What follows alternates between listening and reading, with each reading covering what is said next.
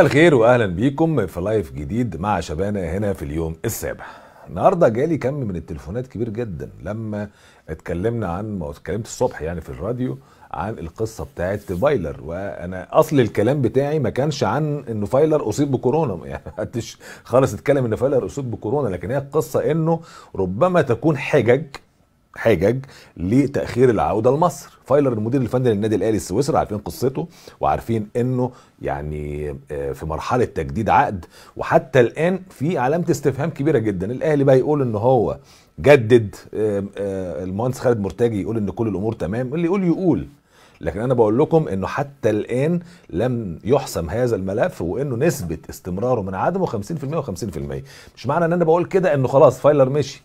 ولا معنى بقول كده إن هو قاعد يعني وقع لكن اللي عايز أقوله إنه طالما المدرب ما وقعش على عقد التجديد أصبح كل شيء وارد لأن هناك يعني على فكرة هو الراجل عقده خلص يعني آخر الشهر ده عقده ينتهي بشكل رسمي.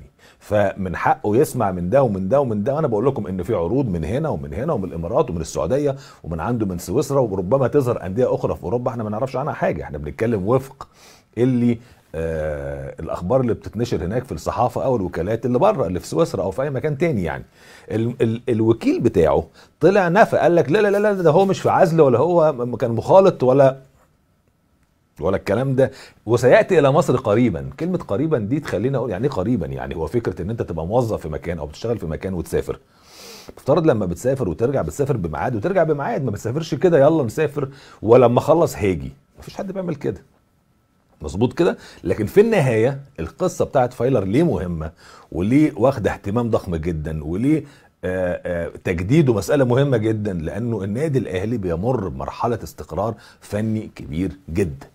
في الموسم الأخير واللي أنا بقوله إن هي مش قصة إنه فايلر مدرب عبقري جدا ولا إنه مدرب يعني ما فيش زيه لا هو مدرب كويس طبعا وحقق مع النادي الأهلي يعني نتائج كويسة جدا وعمل عروض كويسة جدا وعمل حاجات مهمة كتيرة جدا مع النادي الأهلي وكسبان كل الماتشات و semi final بطولة أفريقيا دوري أبطال أفريقيا وصل final وكسبان 16 ماتش في الدوري من 17 ماتش وكل الكلام ده وكسبان بطولة سوبر وخسر بطوله سوبر مع الزمالك ولكن كسب واحدة تانية. في الآخر يعني مشواره مع الاهلي عالي جدا معدي ال 95% بمناسبة الثانوية العامة يعني اللي شغالة. لكن في الآخر جدد مشكلته الأهلي إنه راجع على دوري هيكتمل ودوري أبطال إفريقيا واللعيبة في بيوتها بقى لها شهور ومحدش فنيا قادر إن هو يبقى على دراية بكل تفصيلة في النادي الأهلي في المرحلة دي زي فايلر. من هنا بتيجي فكرة إنه التجديد مهم. هو فهم كده على ما يبدو وبدأ يبقى ليه طلبات خاصة. يعني قال لك مش هجدد سنتين هجدد سنة.